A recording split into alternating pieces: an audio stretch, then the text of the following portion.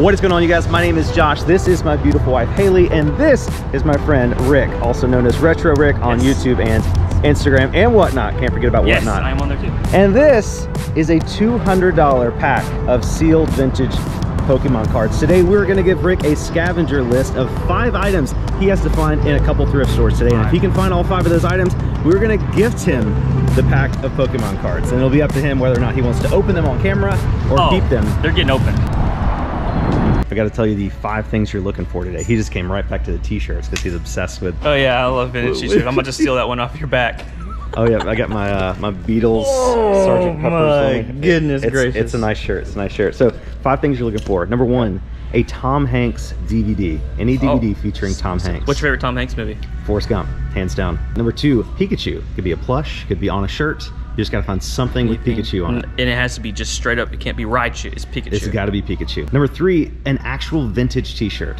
It doesn't have to be profitable, just any t-shirt that's at least 20 years old. if I find a great one, can I keep the shirt though? Sure, Still? yeah. Okay. Number four is a profitable pair of shoes. You gotta find a pair of shoes that you can make at least $20 in profit on after fees. Can I at any point phone a friend like Haley if I'm struggling? Sure.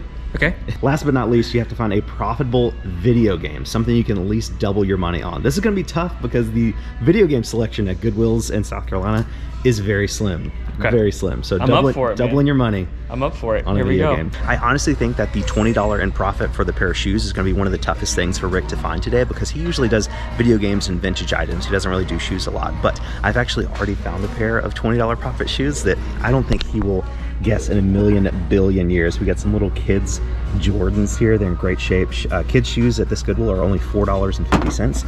And as you can see on eBay, these things sell for you know, 33 bucks, 29, 36, 56 dollars with the box. All these are in pre-owned condition, so that would be at least 20 dollars in profit right there. I'm gonna leave him here to see if he will happen to pick him up. I don't even know where he is. He's over there. He's over there looking at the DVDs, but we'll we'll see if he finds them.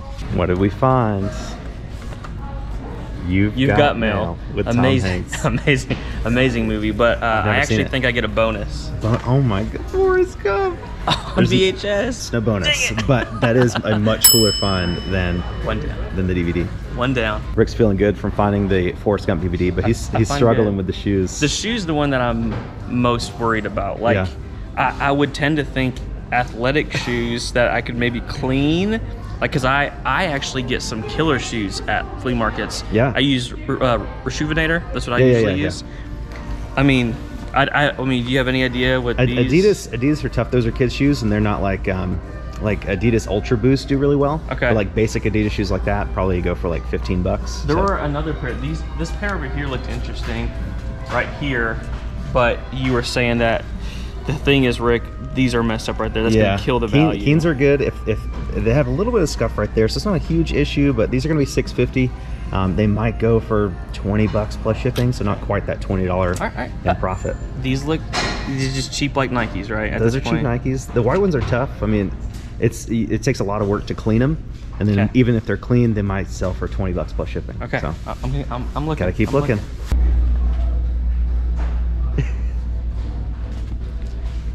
Just take these from that kid. I, so put them down. I, I did I didn't have the camera on, but that kid picked these shoes up, and I thought he was about to buy them. Uh, we actually picked those up a minute ago in the video and looked them up, and they sell for like 40 bucks. Are you shipping. serious? Well, I was gonna say the only reason why. So the only kinds of shoes I have ever sold are kid shoes because again, I'm a bubble mailer guy. Yeah. and I can literally put these in my son. And the, o- and the only reason why I'm educated on this is because my son, he wears a different size shoe every three weeks. They're seriously, they so. I, I'm, I haven't looked them up yet. You said they're around 30, Yeah, 40? th- they'll be four dollars and fifty cents here to buy costs, and sold comps are anywhere from like 30 to 40 bucks plus shipping. Two down. Vintage shirt, Pikachu, Yeah. and profitable video game. All right.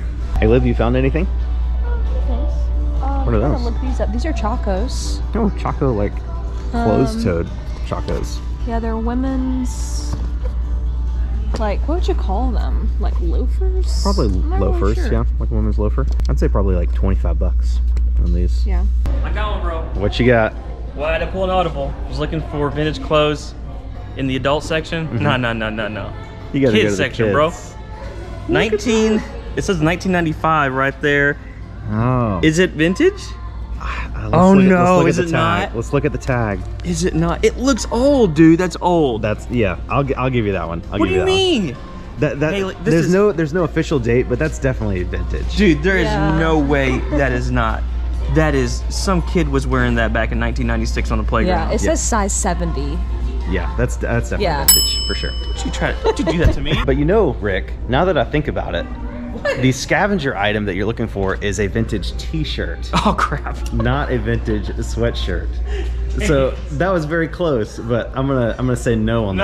No. He immediately starts looking for a T-shirt again, and he's like, I guess I can look for something Pikachu. Please not. I mean, that's kind of a that's kind of a large size. It almost looks like a pajama bottoms, but like that's like a that's like a big kid. that is, it's a big kid. I mean, I, I- to be honest, I'd probably wear them too if they're cozy. Yeah. If they, if they fit me. Yes. All we right, got one so down. another another one down. You're still looking for the vintage T-shirt and the profitable video and game. profitable video game is not going to happen here because how many video games are here? Zero. Josh? Zero. Not only are there no profitable games, there's just no There's not a, a single game. So one Goodwill down, and Rick has already found three of the five scavenger list items. You are approximately three fifths of the way there. I, I, I feel good because the shoe one scared me the most. Just as a reminder, if Rick is able to find all five items today, we're gonna get to give him this. And you said you're gonna open it, right? hundred percent. 100%. You can't you can't end like that. Y'all gotta stick around. We gotta see what's in there. I think there's a Blaine's Charizard in there. It's kind of like the heavy hitter. Yeah. Uh, there could be some good stuff in there. We'll see. $200 pack of It's- Pokemon cards. It's never been opened. 22 years. That thing has Yeah. never been opened, but today it will be. Well, hopefully. Hopefully, hopefully. Stick around. Second store on our scavenger hunt is the Dream Center resale store. Never been here, never even heard of this. I just Googled thrift stores. Has five stars on Google. So we'll see if Rick can get in here and find the last two items. A vintage t-shirt I can do it. and a profitable video game. I can grab, oh, I hear a Joshy Poo. I hear a Joshy Poo. I don't know. You're The- real tough on me on this shirt thing. Let's see, What's what's vintage considered? How old? How 20 many years. So at least 2002. 2003? All right, we got another thing though. Okay. So I'm guessing an X. The, the, eh, eh, nope. Made in USA, Platinum Plus. Hmm. Freeland single. No, is it single? Is it? It is single stitch at the bottom. I don't. I don't know. That's the thing. It's like, how do you know? Mm, that's close. Made in USA. So that's typically something you're looking for. you yeah, like a good sign. Made in USA and single stitch. These are never going to be single stitch on the sleeves if they're long sleeve. Okay. I, I think I think I'm gonna give this one to you. Made I in USA and single stitch. I think that's at Did I do it? I think I'll give it that. give And it- I found the 2003. I think Yeah. combined, there's something there. Yeah, yeah, we'll give it to you. So now you just got to find a profitable video. And guess what? Not a video game. Not here. a video game There's not site. one video game. we gotta go someplace else. Oh I Oh my don't think. We are at the third and likely, hopefully, final thrift stop of the day. Rick has found four of his five items. Uh, he just needs to find one profitable video game, something he can Yeah. double his money with. Haven't found a video game. Not, not even we one. We should have just had that, just a video game. That would have been Rough. that would have been just as hard, but we'll see. So good news, there is actually some video games here. Hmm. So games are 199 So you gotta find something you can make at least. You gotta double your money after fees. How much is this? $1.99. I actually think this might be a decent one to look at. I think. See that green? Rainbow, No, Rainbow that's- Six Vegas 2. I'm gonna check on this one real quick. And we NBA 2K11. Actually, let me see that one. Ooh. Oh, Veggie Tales! Look at there. Oh man. Two discs. The green VHS, man. All right, first one. $1.59 sold. Hmm. I'm actually now the case. The case is not great on this. It, I mean, it's you'd have to switch out the case for sure, but it is complete, and I actually think this one is worth a little bit, but Okay. it doesn't look Is great. worth let's, at least let's see. four dollars? Let's see. After fees. Uh, we got 16 free ship, Okay. uh, 13 free ship. Okay. So what are you talking for shipping? Roughly three bucks, three Three fifty. three fifty probably. Three fifty. 350 i mean there's a little bit of profit it's kind of squeezing squeezing the orange and you're gonna have to you're gonna have to get another xbox 360 case from your house How many how many is sold? Just scroll all the way down. 159 sold. That's actually pretty good. ultimately you would double up on this I I think I mean it is in rough shape, but it is complete in there. well, let's see let's see here here's the thing let's see the cheapest one available right now manual only so that's not complete that's not complete so the cheapest one available is 10 10 free shipping. So there is double up. That's There- a double up. I think that's I think that's a double Is up. it- it's hey. in it's in very rough Is condition. it is but- it an exciting double up? No, but, but it does is- it technically meet the requirements? It does. I think so. I think it does. I think it, I think it does. do you do you ever sell VHS? Uh, I I occasionally. So if you ever see, you know how people are always like, "Hey, I'm a millionaire. I got all my Disney DVD or Disney VHS." There is one. There's one. Cars. You Oh, throw yeah. up a dang sold listing of cars. it's like. I think I know this. Is it Did you because know it was the last VHS? It was like given to like the production crew or something. It's something weird, but it's like cars, and it's it's not a clamshell. It's going to be like a regular, like this. It'll just be like this.